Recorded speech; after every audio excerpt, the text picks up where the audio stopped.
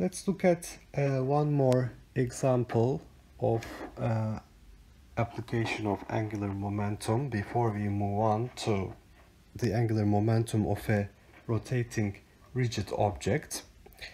A particle of mass m moves in a circle of radius capital R at a constant speed v. So we have uniform circular motion. The motion begins at point Q at time t is equal to 0. So at time t is equal to 0, we are at point Q. Determine the angular momentum of the particle about the axis perpendicular to the page through point P.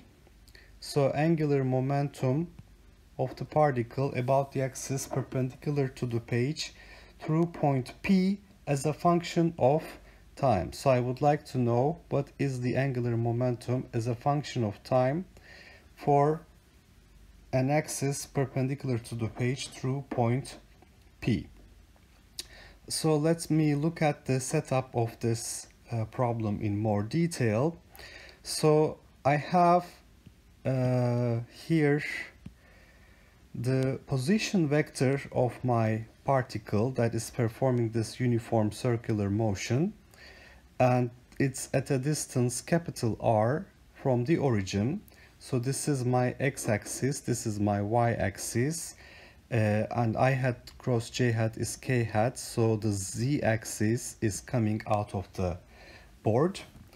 And uh, I need to know the angular momentum with respect to point P here. So that means I'm interested in the position vector not with respect to the origin, but with respect to point P.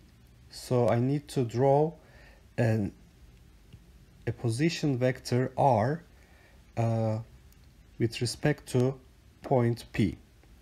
And as time goes by, because the particle started its motion at point Q at t is equal to 0. Uh, as time goes by, because it's moving with constant angular, uh, constant speed v, I know that in uniform circular motion, v is equal to omega times t. So this is rotating with angular speed omega in this circle.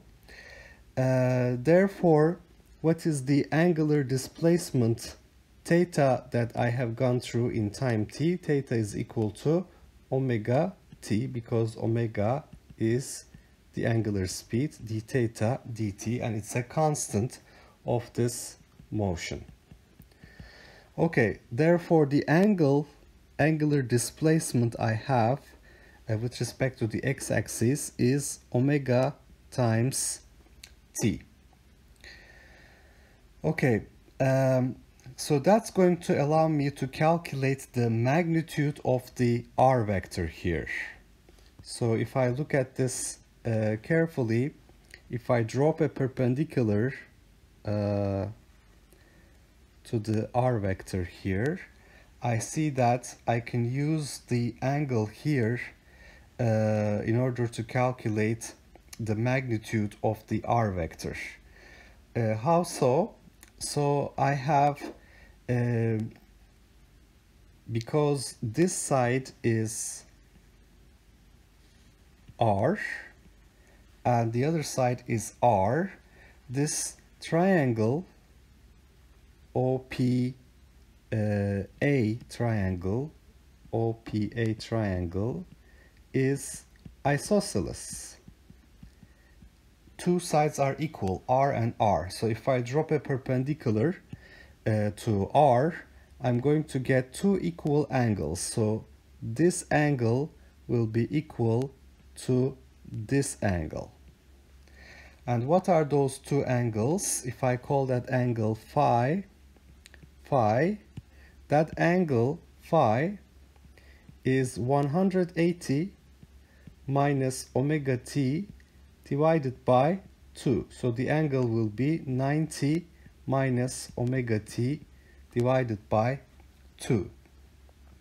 So using this uh, OHP right triangle, I can find uh, the magnitude of the r vector and because these two uh, lengths will be equal uh, magnitude of the r vector divided by 2 is going to be equal to uh, r sine phi which is r sine 90 minus omega t divided by 2 so magnitude of the r vector is 2r cosine omega t over 2 so that's the position vector of this particle with mass m uh, with respect to the point P on the xy plane. Okay, and when I try to calculate the angular momentum, I have to take r cross with P. So uh, let me look at this angle between uh, these two. So this r vector and the linear momentum vector uh, v uh, they're going to have an angle. So what is this angle? Uh, well this angle here is going to be equal to um, omega t. Uh, so I will have phi plus omega t so it plus 90 degrees here. This, this should add up to uh, 180 so if phi is 90 minus omega t over 2 that angle should be omega t divided by 2 right? So omega t minus 2 plus phi 90 minus omega t over 2 so that's going to give me 90 plus 90 180 in the OHA triangle so that angle is omega t over 2. All right. And so what is the angle between uh, the r vector and v vector? So that angle is uh, this one, this angle. And what is this angle? Because the uh, this angle plus omega t over 2 should add up to 90 degrees. The velocity vector is perpendicular to the uh, radial vector uh, from the origin. That angle should be equal to 90 minus omega t over 2. Alright, so 90 minus omega t over 2, which means the angle between the two uh, vectors r vector and mv vector will be this angle and that angle should be 90 plus omega t over 2 because the two angles should add up to 180 degrees. Okay so if I use the cross product uh, r cross with p so this is my uh, r vector this is my uh, p vector here that's the p vector. If I take the cross product r cross with p, I can see that this will be in plus k hat direction because my z axis is uh, coming out of the board.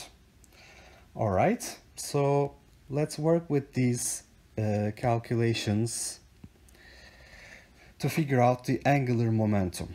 Okay, so the angular momentum L will be R cross with mv okay? So magnitude wise this will be magnitude of r uh, mv and sine of the angle between them. So it's going to be sine of 90 plus omega t over 2 and magnitude of vector r uh, I have just calculated is 2r cosine omega t over 2 then I have mv and sine of 90 plus omega t over 2 is cosine omega t over 2 so my answer for the magnitude of the L vector will be 2r cosine square omega t over 2 times mass times velocity. So I can write this in a nicer way because I can use this property cosine omega t is 2 cosine square omega t over 2 minus 1.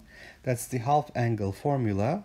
So in order to replace 2 cosine square omega t over 2, I can use cosine omega t plus 1. This is 2 cosine square omega t over 2. So, so let's plug this here. The magnitude of the angular momentum with respect to point P is uh, mv uh, times r uh, times 1 plus cosine omega t and its direction is k hat direction. But the problem here is omega is not a given in this problem, but I know that there is a relationship between v and omega. v is equal to omega times r. So instead of omega, I can substitute v over r. Then I can say that this angular momentum with respect to point P is mvr